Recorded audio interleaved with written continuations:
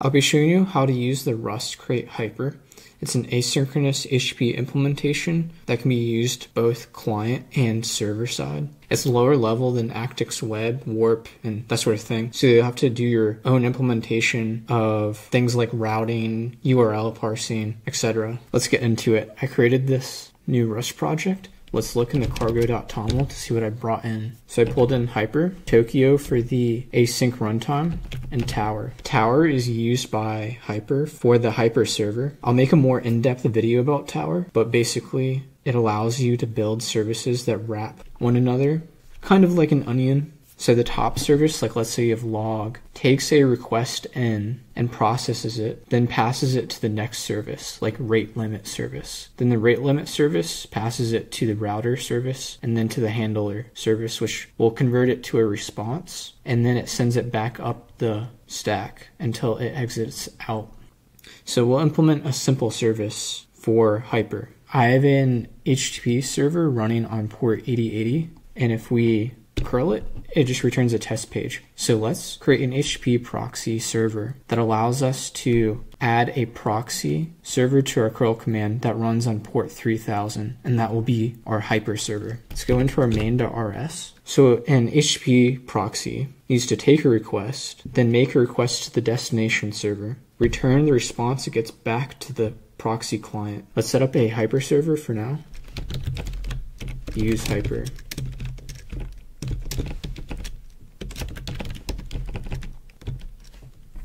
We'll need to run it on port 3000. So do let adder is equal to socket adder, socket adder from pass it a pass it an array, and we'll just run this on localhost.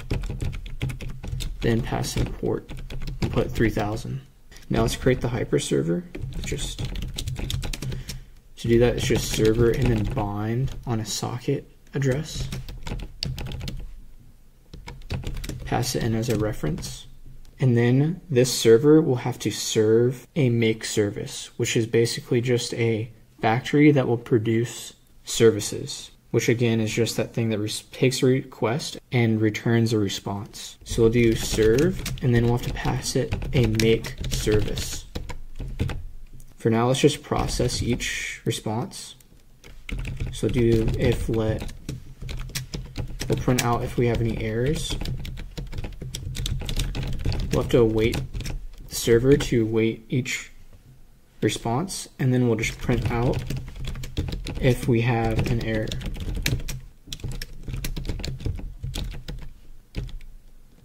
And this needs to be a tuple. Okay, so now let's create a service. And this will just be a function. We'll call it handler, so it'll need to be async since hyper is asynchronous. It'll take in a request from Hyper and it will contain a body. Then we'll want to return a result that contains a response with a body. We could also return a hyper error. Let's say we just want to return a hello from the HTTP proxy server for now. So let's just build our own response with response new. And we need to create a new body. And we can do that with body from and a string. And this needs to return a result, so it should be okay. Very nice. Now we can actually build the make service factory with make service is equal to, we'll need to bring in service and two things. So we'll want the make service function and also the service function, which actually builds the service. So this make service function, you can call it and then it will generate a new service to respond to the request that you pass it. So basically it will return a new closure and that closure takes in a request, just like our handle function, and then it responds to that request with a response. Simple enough. So in this case, let's create a closure. It needs to be async. This closure needs to return a service because this is a factory for generating services.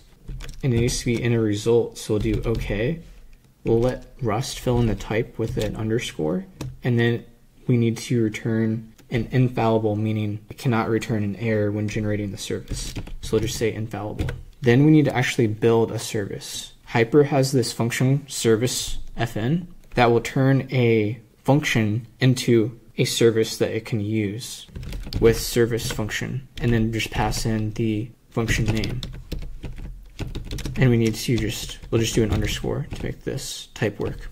So if you're confused what the service fn function does, it basically takes a function that it passes in and returns a service, which is just a re export of the tower service. So if you actually click on the hyper service, you can see it takes us to tower. And this can be called with a request, and then it returns a future that contains a response. And again, I'll make a video with going over tower explaining why this is helpful and how it's so powerful. But for now, that's the gist of it. Now that we've created the simple hyper server, let's go ahead and run it and then see what it returns when we curl with the proxy. So you can see it says hello from HTTP proxy because we're using that proxy in our curl command. Now let's actually implement the proxy. To do that, all we really need to do is pass along the request. And since Hyper has both the server and client HTTP implementation, that's quite simple. All we have to do is create a new client with let client is equal to client new. This client can send a request with client and then request.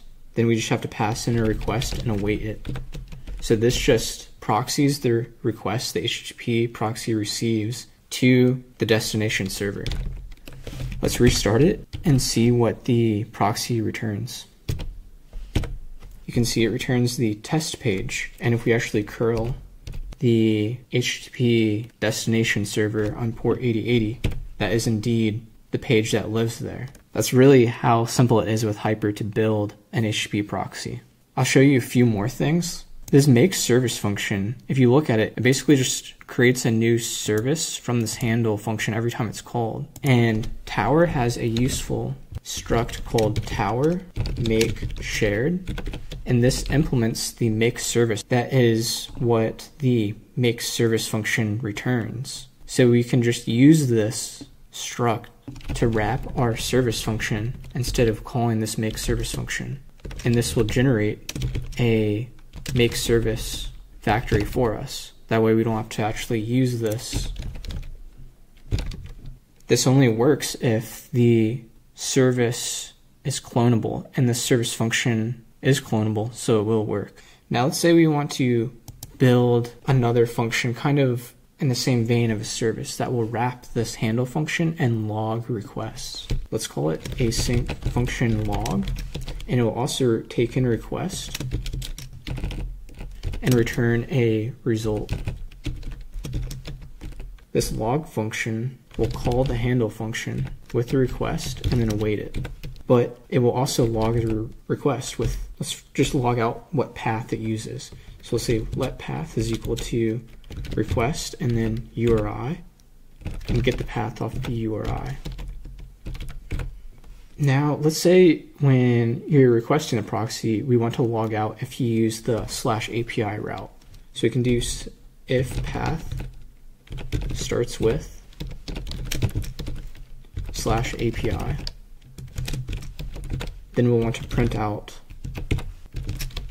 API path along with the path. Now let's just print out now let's just print out something generic for the other routes.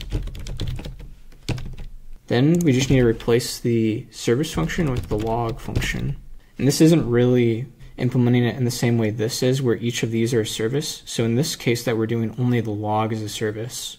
I'll show you in the tower video how to actually build these layers of services. But for now, this works well enough. And you can also see how you could build a router with this. Let's see what this returns. And you can see it returns the generic path when we request on the index, and then if we request an API, it returns with the and prints out the API path. So this should get you started with the building blocks of using Hyper. If you have any questions, let me know. Thank you for watching.